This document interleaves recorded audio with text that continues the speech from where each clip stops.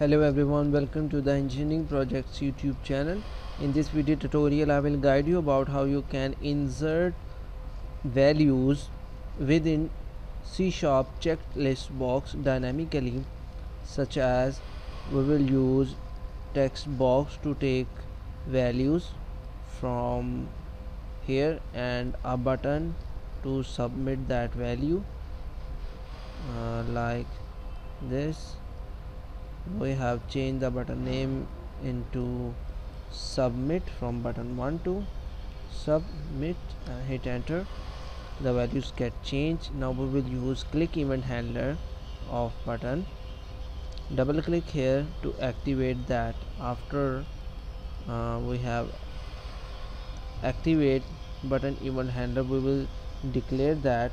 Whenever button will press the value inserted as a item within C sharp checked list box like checked list box 1 dot items dot add in parentheses pass the value of text box which is text box 1 dot text dot to string parentheses and we have done.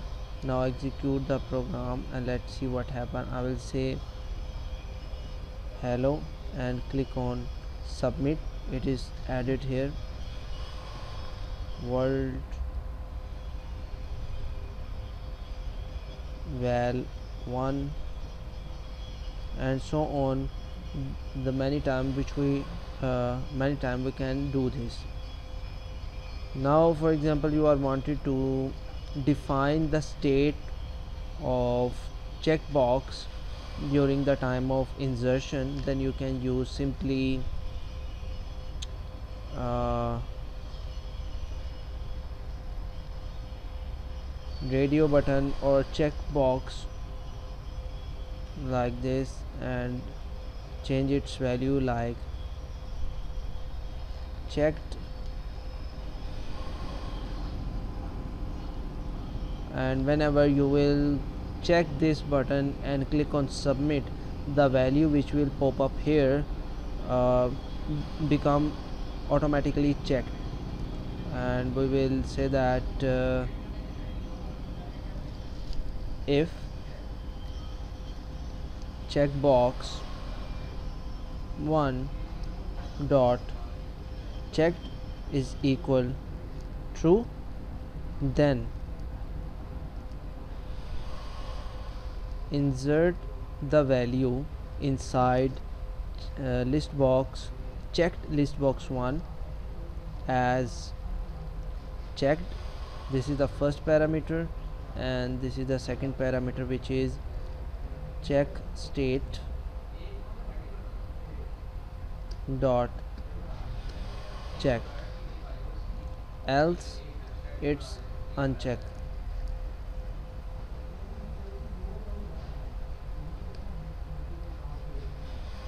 okay now execute the program. And uh, I will say hello. It's unchecked and when I will click with check and click on hello it's represented as checked value. You can do manipulation in C sharp checked list box by using other GUI tools I hope this video tutorial is informative for you. If you have any kind of question, you can ask us and don't forget to subscribe our YouTube channel.